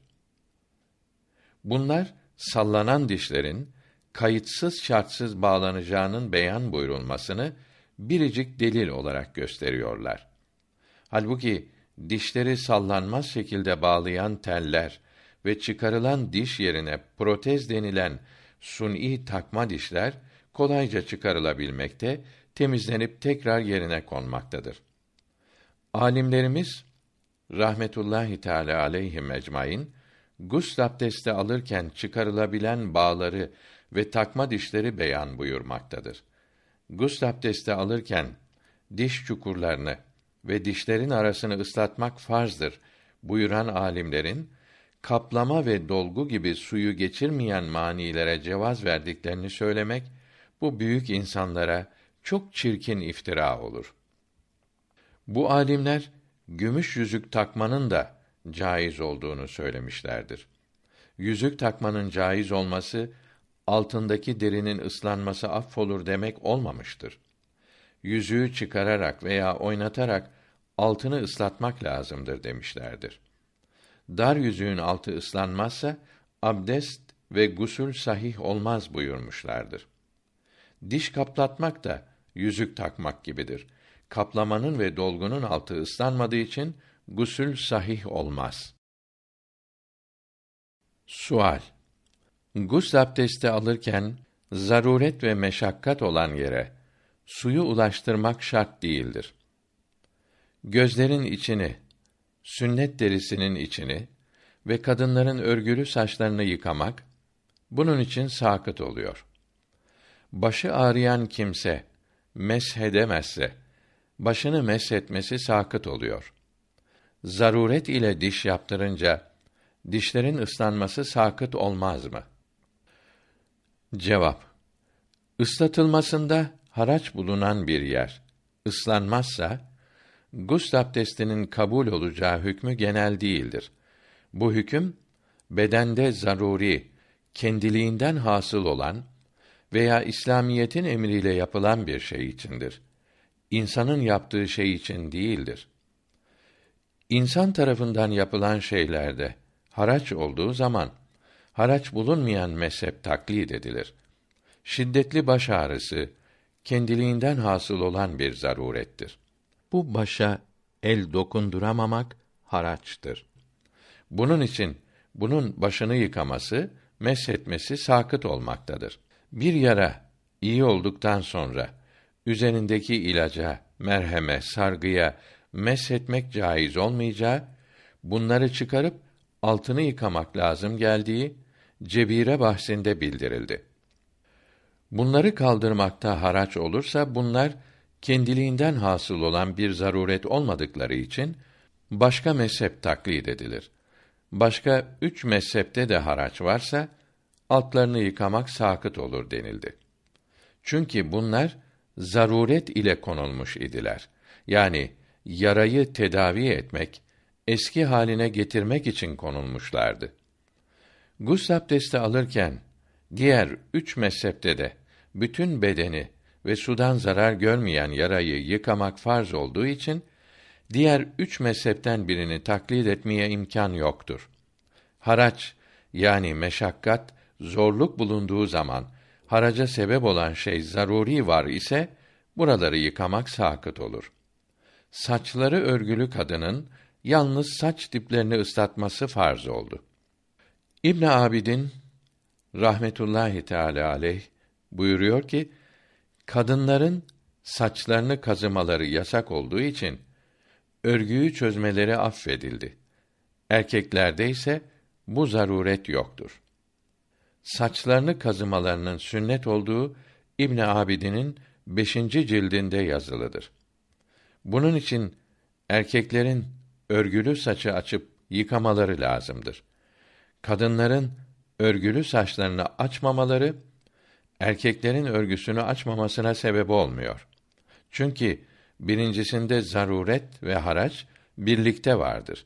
Erkek saçında da haraç varsa da zaruret yoktur. Suni takılan protez dişlerin gusülde çıkarılmasında haraç herhangi bir zorluk yoktur. Kolayca çıkarılıp altlarındaki deri yıkanır. Böyle diş yaptırılması caizdir. Bunların başka mezhebi taklit etmelerine lüzum yoktur. Sual İmam-ı Azam diş yaptırmak hususundaki zaruretin gümüş kullanmak suretiyle giderileceğini buyurmuş. Bunu bir vaizin kitabında okudum. Yine o kitapta İtkani diyor ki İmamı Muhammed'in şöyle demesi müsaittir. Diş yaptırma hususundaki zaruretin gümüş kullanmak suretiyle giderilmiş olacağını teslim etmeyiz. Çünkü burunda koku yapan gümüş dişte de koku yapar. Diş yaptırmakta zaruret olduğu açıkça meydandadır diye okudum. Siz buna ne dersiniz? Cevap Okuduğunuz kitabın bir vaiz tarafından yazıldığı doğru olmasa gerektir. Fıkıh kitaplarını bu kadar yanlış ve bozuk nakleden kimse ya çok cahil bir zavallı veya büyük bir yalancı ve sahtekar olabilir. Bakın Reddül Muhtar'da Hazar vel İbaha kısmında bu satırlarda nasıl buyuruyor? İmam-ı Azam dişi bağlamak ile burun yapmayı birbirinden ayırdı. Burun gümüşten olunca gümüşün koku yapması zaruretine binaen altından burun yaptırmak caizdir buyurdu. Çünkü haram olan şey ancak zaruret için mübah olur. Halbuki dişte gümüş kullanınca bu zaruret kalkıyor. Ala olan altını kullanmaya ihtiyaç kalmıyor. İtkani dedi ki bir kimse İmamı Muhammed Hazretlerine yardım etmek için şöyle diyebilir. Dişi altınla bağlamakta olan zaruretin gümüş kullanmakla kalkacağını kabul etmeyiz. Çünkü gümüş burunda olduğu gibi dişte de koku yapar. Görülüyor ki ne İmam-ı Azam ne de İmam-ı Muhammed rahmetullahi teala aleyhima diş yaptırmak hususundaki zaruret diye bir şey buyurmamıştır. Bu zarureti kaplama dişi bulunan bir kimse cemaatin gözünden düşmemek için veya diş kaplatanlara yaranmak için kendisi uydurmuştur. İmamlarımız diş bağlamakta gümüş koku yapınca altın ile bağlamak zarureti hasıl oluyor. Gümüş kullanmak koku yapmazsa bu zaruret kalmıyor buyuruyor. Zaruret olup olmadığını söylemek bizim gibi avamın yani müçtehit olmayan din adamlarının işi değildir. Dinimiz burada söz hakkını müçtehitlere vermiştir. Müçtehit olmayan din adamlarının burada söz hakları yoktur. Söylerlerse sözlerinin kıymeti yoktur. Hicretin 400 senesinden sonra içtihat derecesine yükselmiş bir alim yetişmediğini, bulunmadığını alimlerimiz söz birliğiyle bildirdiler. Alimlerimiz müçtehitlerin fetvalarını bularak fıkıh kitaplarına yazdılar. Diş çukurundaki yemek artıklarının altına su sızmadığı zaman gusl abdestinin kabul olmayacağı ve bunda zaruret ve haraç bulunmadığı fıkıh kitaplarında açıkça yazılıdır. Bunu yukarıda bildirmiştik. Çünkü gusl abdesti alınacağı zaman diş çukurundaki ve dişler arasındaki yemek artıklarını temizlemek mümkündür ve bunu yapmakta haraç yani güçlük yoktur. Kamus tercümesinde diyor ki, farzı yapmakta haraca sebep olan yani yapmaya mani olan zaruret ya cebr zor ile olur. Kadınların saçlarını uzatması böyledir. Çünkü İslamiyet saçlarını kesmelerini yasak etmiştir. Yahut hasta bir uzvu sıhhate kavuşturmak ve tehlikeden korunmak için olur. Yahut da başka şey yapmaya imkan olmadığı için olur. Haraç bulunduğu zaman başka mezhebi taklit mümkün olmaz ise zaruret aranır. Kadınların örgülü saçlarını çözmelerinde haraç vardır. Bu haraçtan kurtulmak için başka mezhebi taklit etmeye de imkan olmadığı ve saçlarını uzatmalarında zaruret olduğu için saçlarının örgülerini açmaları affolunmuştur. Dişi çürüyen, ağrıyan kimse Müslüman salih bir diş tabibine gider. Diş tabibi pamuk ile ilaç koyarak şiddetli ağrıdan kurtarır. Sonra bu pamuk atılır. Ağrısı giderilmiş diş için ona iki yol gösterir. Birinci yol çürümüş, telef olmuş dişi çıkarıp yerine protez yaptırmasını söyler. İkinci yol çürümeye başlamış hasta dişin sinirini alıp dolgu veya kaplama yani kron yaptırmasıdır. Dişin çürümesi yeni başlamış ise dolgu yapılarak çürümesi az veya çok zaman durduruluyor. Diş tabibinin maharetine göre bu diş uzun seneler rahat kullanılıyor. Çürüme ilerlemiş ise dolgu yapılamıyor. Ancak kaplama yapılarak dişin yalnız kökünden istifade ediliyor. Kökü de çürümüş ise diş çıkarılıp yerine suni diş, protez takılıyor. Protezi kullanmak kaplama gibi, kaplama da dolgu gibi rahat olmuyor. Kaplama ve dolgu hasta dişi tedavi etmiyor. Eski sıhhatine kavuşturmuyor. Hasta olarak ağrısız kullanılmasına yardım ediyor. Dolgusu kaplaması olan kimse Maliki veya Şafii mezhebini taklit edince özürsüz kimseler gibi tam sevap kazanıyor. Bu mezhepleri taklit imkanı olmasaydı dolgu ve kaplama zaruret haline dönerdi. Guslü ve namazları sahih olurdu. Fakat özürlü olduğu için sevapları az olurdu. Görülüyor ki başka mezhebi taklit etmesi ibadet sevabının çok olmasına sebep olmakta hem de dişlerin sökülmesine mani olmaktadır. Diş de bir uzuvdur. Çürük dişi tedavi etmek zaruret değil midir? Sallanan dişi bağlamanın zaruret olduğunu siz de bildirmiştiniz diyerek kaplama ve dolgunun zaruret olacağını söylemek doğru değildir. Çünkü kaplamak ve dolgu yapmak dişi tedavi etmek değildir. Çürük dişin sinirini alarak bunu ölü olarak protez yani suni diş gibi kullanmaktır. Protez çıkarılabildiği için caizdir. Kaplama, dolgu çıkarılamadığı için caiz değildir. Bugün ağrıyan dişi protez yapmakta çok acı, haraç olmuyor. Dişin sinirini öldürmek ise çok acı, pek zahmetli oluyor. Protezi kullanmakta haraç vardır. Dolguyu, kaplamayı kullanmakta ise yoktur. Diyene de Şafii taklit caiz oluyor. Dolgu ve kaplama dişin kökünde zamanla mikrop yuvası meydana gelip çeşitli organlarda hastalık yapıyor. Suni diş ise hiç mikrop yapmıyor. Diş ağrısı veya çürüğü olmadan zinet için kaplama veya dolgu yaptırmış olan da gusl abdesti alırken Şafii veya Maliki mezhebini taklit etmelidir. Haraç bulunduğu zaman başka mezhebi taklit etmek için zaruret de bulunması şart olmadığı İbn Abidin namaz vakitleri sonunda açıkça yazılıdır. Ağrı çürük sebebiyle kaplama, dolgu yapmanın da zaruret olmadığını yukarıda bildirdik. Bunun için diş yaptırmış Müslümanları pis bilmemeli, bunlara şüpheli gözle bakmamalıdır.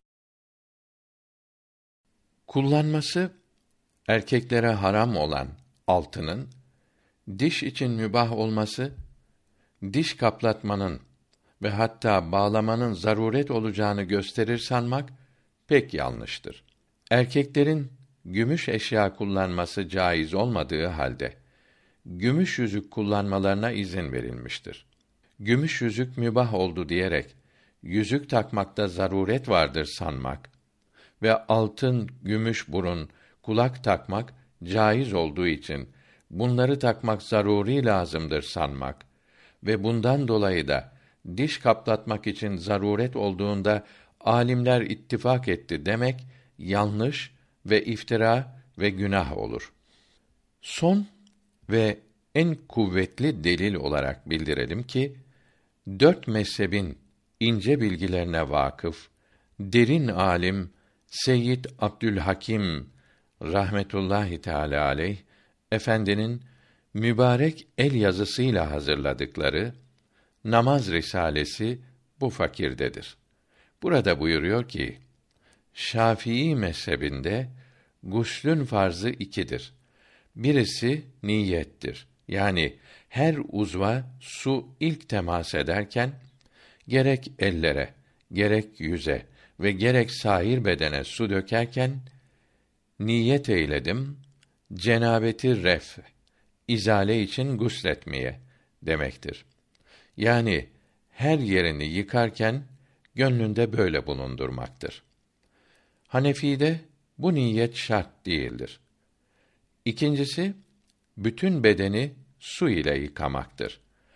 Bedeninde necaset varsa izale etmek ayrıca farzdır. ağzın ve burnun içini yıkamak, yani buralara suyu isal etmek Şafii'de farz değildir. Hanefi mezhebinde ise buralara suyu isal etmek farzdır. Bunun içindir ki Hanefi mezhebinde olanlar dişlerini kaplatamazlar ve doldurtamazlar. Çünkü buralara su isabet etmez. Dişini kaplatan veya doldurtan Şafii veya Maliki mezhebini taklit eder. El Mukaddemetül İzziye'de diyor ki, Maliki mezhebinde bir kaptaki temiz suya necaset düşse, üç vasfından biri değişmez ise, bununla abdest ve gusül sahih, lakin mekruhtur. Mai müstamel de böyledir. Halaya sol ayakla ve başı örtülü girilir. Eti yenen hayvanların bevli ve pisliği temizdir. Bunların ve insanın ölüsü ve kemikleri ve tırnakları, boynuz ve derileri ve meni, mezi ve alkollü içkiler necistir. Net yere serili kalın şey üzerinde ve avuç içinden az, kan, irin bulaşınca namaz sahih olur. Dipnot 1 Maliki mezhebinde ikinci kavle göre her necaset ne kadar çok olsa dahi namaza mani değildir. Yıkaması farz değil, sünnettir. Gusle başlarken niyet etmek, bütün vücudu delk etmek, avuç içi veya havlu ile hafif sıvamak, muvalat, aralıksız ve saçı sakalı hilallemek, sık örülü saç çözülüp her tarafını hilallemek farzdır. Ağız, burun ve kulak içini ve saçları yıkamak sünnettir. Yıkamadık yer kaldığını bir ay sonra bile hatırlayınca, yalnız orayı hemen yıkar. Hemen yıkamazsa, guslü batıl olur. Her gusülden evvel veya sonra abdest alınır. Abdeste başlarken veya yüzü yıkarken niyet etmek ve başın hepsini ve sarkan saçları, kulak üstündeki deriyi ve altındaki deri görünen hafif sakalı meshetmek, kesif sakalı yıkamak, muvalat yani azaları ard arda yıkamak, yıkanan yerleri kurumadan evvel delk etmek de farzdır. Örülü saç çözülmez. Avuç ve parmak içleriyle zekere dokunmak, abdest aldığında veya bozulduğunda şüphe etmek, oğlanın veya mahrem olmayan genç kadının derisine veya saçına şehvet ile dokunmak abdesti bozar. Lezzet kastetmeden dokunursa ve dokunurken lezzet duymazsa abdesti bozulmaz. Yolda, nakil vasıtalarında ve alışverişte temas korkusu olan Şafii, Hanefi veya Maliki mezhebini taklit etmelidir. Bedenden kan ve diğer şeyler çıkması abdesti bozmaz. Kulakların içi ve dışı yeni ıslatılmış parmak ile mesedilir. Tırnak kesince, tıraş olunca abdest bozulmaz. Sakal tıraşında ihtilaflıdır. El ile istibra vaciptir. Teyemmüm ederek giyilen mest üzerine mesh edilmez. Mesh müddeti yoktur. İkindi vakti isfirar vaktine kadardır. Yatsının ahir vakti gecenin ilk sülüsüdür.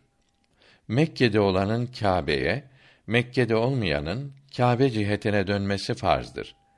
Namaza başlarken Allahu ekber demek, Fatiha okumak, kavmede dikilmek, celsede oturmak, oturarak bir tarafa selam vermek ve selam verirken Esselamu aleyküm demek farzdır. İlk iki rekatte zamm-ı sure okumak, iki teşehhütte oturmak, tahiyyat ve salavat okumak ve ikinci selam sünnettir. Sabah ikinci rekatte sessiz kunut okumak, teşehhütte şahadet parmağı kaldırmak müstehaptır. Sünneti unutunca secde-i sehiv lazım olur. Bayram ve cenaze namazları sünnettir. Fasık imam olamaz. Başka mezhepteki imama ve özürlü olan imama uymak caizdir. Maliki'de sefer mesafesi Şafii'de olduğu gibi 80 kilometredir. Günah olmayan seferde dört rekat farzları iki kılmak sünnettir. Dört gün kalmaya niyet ettiği mahalde mukim olur. Misafir ile mukimin birbirlerine imam olmaları mekruhtur. Malikiyi taklit eden Hanefi, misafir ile mukim birbirlerine imam olurlar. İki namazı cem etmemek eftaldir. Vitir namazı ve bayramda on beş namazın farzından sonra tekbiri teşrik sünnettir. Bir ibadeti yaparken başka bir mezhebi taklit etmek kendi mezhebinden ayrılmak değildir. O mezhebin farzlarına ve müfsitlerine tabi olmak demektir. Vaciplerde, mekruhlarda ve sünnetlerde kendi mezhebine uyar. Mesela Malikiyi taklit eden Hanefi misafirin dört gün kalmaya niyet ettiği yerde farzları dört rekat kılması farz olduğu için dört kılar. Mukim olana uyması veya imam olması Maliki'de mekruh, Hanefi'de sünnet olduğu için kendi mezhebine uyarak cemaat ile kılabilir. Bir ibadeti yaparken başka mezhebi taklit etmek için kendi mezhebine göre yapmakta haraç, meşakkat bulunması lazımdır. Meşakkat, zorluk yok iken taklit edilmez. Diş kaplatmış veya doldurtmuş olanların gusülde ve abdeste ve namaz kılarken Maliki veya Şafii mezhebini taklit etmeleri takva değildir. Mezhep taklidi fetva yoludur. Kurtuluş çaresidir. Dinde meşakkat yoktur. Kolaylık vardır gibi sözleri zındıklar silah olarak kullanarak birçok farzları terk etmektedir. Bu sözün doğrusu Allahü Teala'nın bütün emirlerini yapmak kolaydır. Zor bir şey emretmemiştir demektir.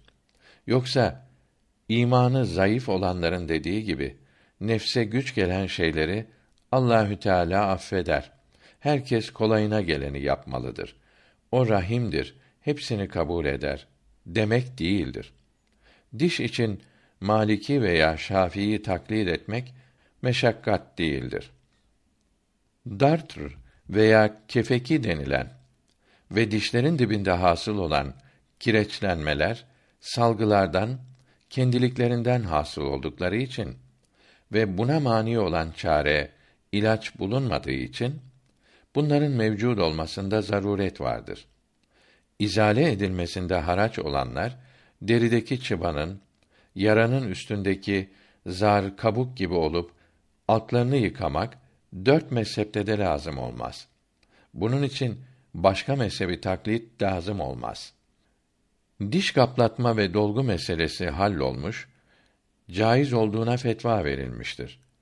Zararı olmadığı bildirilmiştir diyorlar. İttihatçılar zamanında din işlerine karışan siyaset adamlarının, sarıklı masonların din büyüklerini kötülemek, din bilgilerini bozmak için söyledikleri, yazdıkları yıkıcı propagandalara fetva diyorlar. 1329 miladi 1911 senesinde İstanbul'da ikinci baskısı yapılan Mecmuayı Cedide adındaki fetva kitabında diş çukuru doldurulmuş kimse guslederken diş çukuruna su vasıl olmasa bu veçle gusül zaruret olsa gusül caiz olur demektedir. Bu fetvayı 113. Şeyhülislam Hasan Hayrullah Efendi'nin verdiği bildirilmektedir.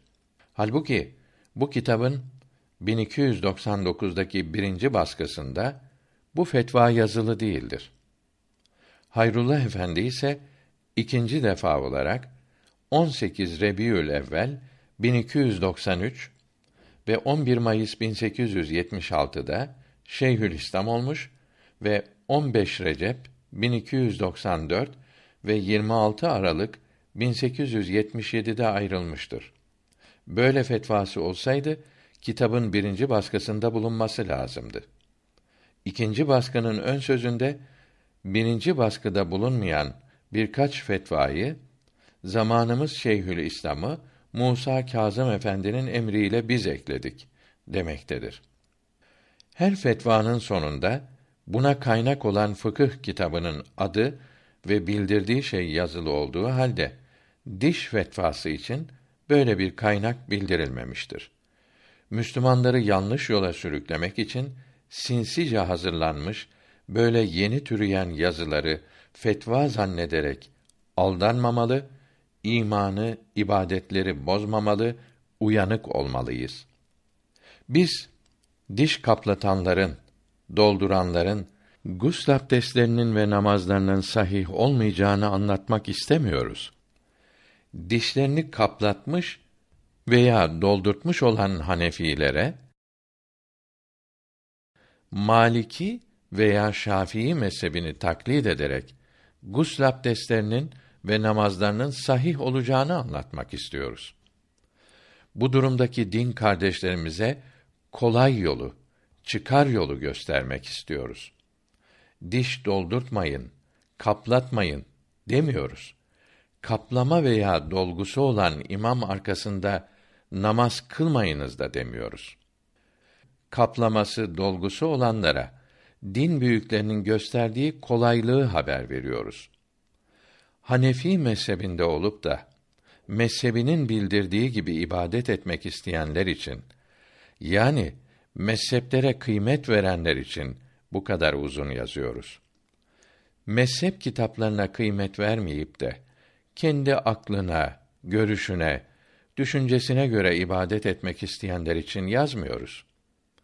İbn Abidin rahmetullahi aleyh Ramazan hilalini anlatırken buyuruyor ki: Birçok ahkam zamanın değişmesiyle değişir. Haraç olunca zayıf rivayet ile amel olunur. Bundan da anlaşılıyor ki ahkamın zaman ile değişmesi demek zor vaziyette bulunan kimse mezhep alimlerinin meşhur olmayan içtihatlarına uyabilir demektir. Herkes kolayına geleni yapsın demek değildir. Dürrül Muhtar 3. cilt 190. sayfede buyuruyor ki: Mezhepten çıkan kimse tazir olunur. Yani cezalandırılır. Siraciye fetvasında da böyle yazılıdır. İbn Abidin burada buyuruyor ki: Dünya menfaati için mezhebini bırakan kimsenin son nefeste imansız gitmesinden korkulur. Diş kaplatan veya doldurtan Hanefilerin Maliki veya Şafii mezhebini taklit etmeleri Hanefi mezhebinden çıkmak demek yani mezhep değiştirmek demek değildir. Yalnız gusülde, abdeste ve namazda Hanefi mezhebiyle birlikte Maliki veya Şafii mezhebinin şart ve müfsitlerine de uymaktadır. Özrü olmayanların da başka mezhebin farzlarına ve müfsitlerine uymasının müstehab olduğu İbn Abidin'in abdest bahsinde ve İmam-ı Rabbani'nin mektubatının birinci cilt 286. mektubunda bildirilmektedir. Hanefi'de caiz olmayan bir şeyi Şafii'de veya Maliki'de caiz olduğu için zaruret ve haraç olmadan yapamaz. Mesela sağlam olanın veya kaplama dişi olduğu için Maliki mezhebini taklit eden Hanefi'nin derisinden kan akınca veya idrar kaçırınca abdest alması lazımdır. Bunun vitir namazını vacip olarak kılması 104 kilometreden az uzak yerde seferi olmaması ve dört günden az seferi olduğu yerde namazlarını cem etmemesi lazımdır. Hastalık veya ihtiyarlık sebebiyle yani zaruret ile idrar kaçıran Hanefi'nin tekrar abdest alması haraç, zahmet olacağı için bu kimse Maliki mezhebini taklit ederek hemen özür sahibi olur, abdesti bozulmaz. Tahrir kitabını şerh eden yani açıklayan İbn Emir Haç buyuruyor ki Nahl suresi 43.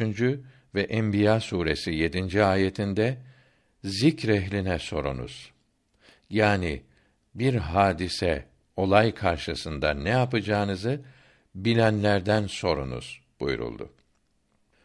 Bu ayeti kerime müçtehide tabi olmak, uymak ve başka mezhebi taklit etmek vacip olduğunu göstermektedir.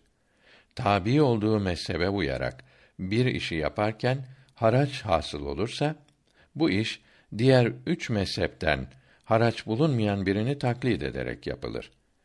Diş dolduran, kaplatan Hanefi'nin Şafii veya Maliki mezhebini taklit etmesi böyledir. Diğer üç mezhepte de haraç varsa zaruret aranır. Zaruret de varsa bu işi terk etmek, yapmamak caiz olur. Yara üzerindeki sargıyı çıkarıp yarayı yıkamak yaraya zarar verdiği zaman başka mezhebi taklide imkan olmadığı için yarayı yıkamanın aff olarak sargıya meshetmenin caiz olması böyledir. Müçtehit olmayan bizim gibi mukallitlerin eshab-ı kiram böyle yapardı diyerek veya ayet-i kerimeden ve hadis-i şeriflerden mana çıkararak kendi anladığımıza göre hareket etmemiz caiz değildir. İbn Abidin tahareti anlatmaya başlarken buyuruyor ki mukallidin müçtehitten gelen bilgilerin delillerini sorması lazım değildir. Hak Teâlâ intikamın kul eliyle alır. İlmi hali bilmeyenler onu kul yaptı sanır.